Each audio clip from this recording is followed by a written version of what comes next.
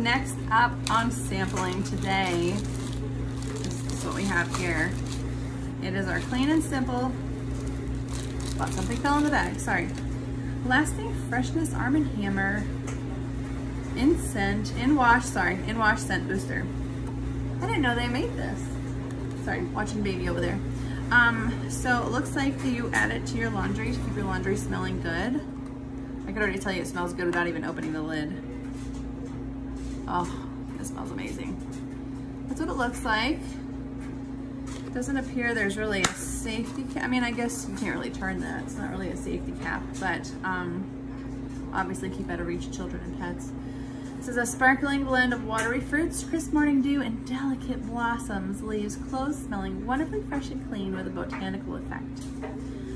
Fill to line on cap outer wall and pour into your washer just before your clothes for freshness.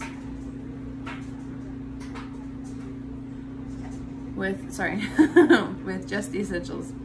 Do not put in the liquid dispenser or the dryer. Safe for all colors, washable fabrics, and load types. So, there's a line. You can see that right there. Right there. And you'll fill it to that line. I'm guessing the inside and the outside.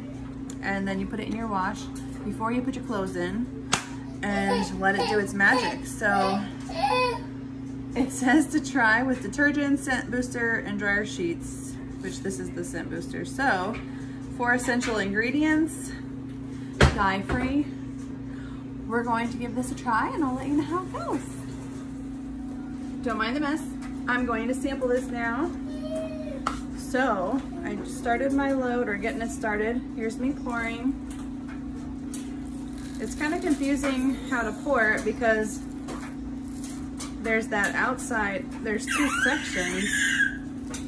So I'm assuming I'm doing it right.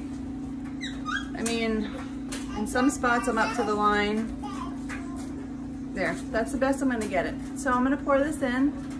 It smells amazing. We're gonna give it a try.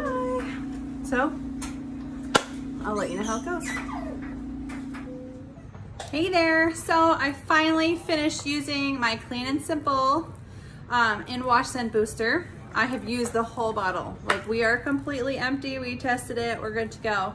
Um, smells amazing. I cannot say that it was over the top, making my laundry smell good.